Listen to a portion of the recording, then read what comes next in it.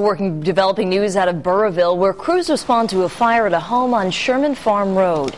This was the scene just after 10 this morning as firefighters from Glocester and Uxbridge, Uxbridge, Mass were also called in to help the crews.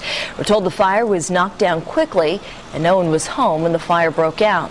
Right now, there's no word on a cause.